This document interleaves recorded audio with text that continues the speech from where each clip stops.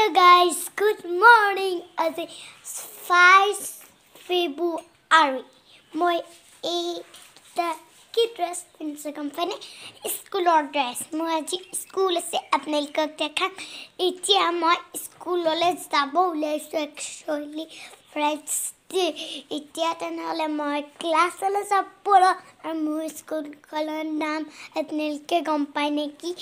ছেক্ৰেটাৰ্ড high school জি friends আৰু এইপিনে মা ওলাই আছে। আৰু সেইপিনে পাপা ওলাইছে। জেকেট পিন্ধিছে এতিয়া মই যাম মাহঁতলৈকৈ ব'লক তেনেহ'লে যাওঁ। আৰু বহুতে ভাল লাগে মোৰ গৈ কিন্তু আজি কি হয় মই নাজানো।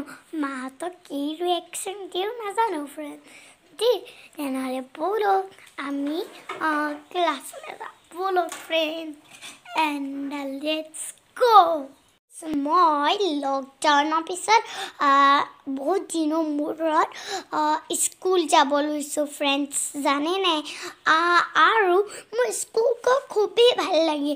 লিখাই পঢ়াই মই ফ্ৰেণ্ডছৰ লগত ফূৰ্তি কৰোঁ। আপোনালোকৰ ভাল লাগেনে মোক কমেণ্টত জনাবচোন ফ্ৰেণ্ডছ দেই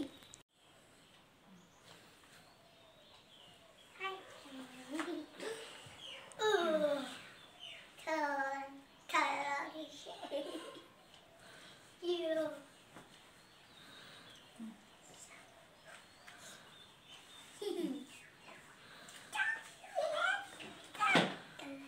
এতিয়া আমি গৈ আছো বহুতে ভাল লাগিছে।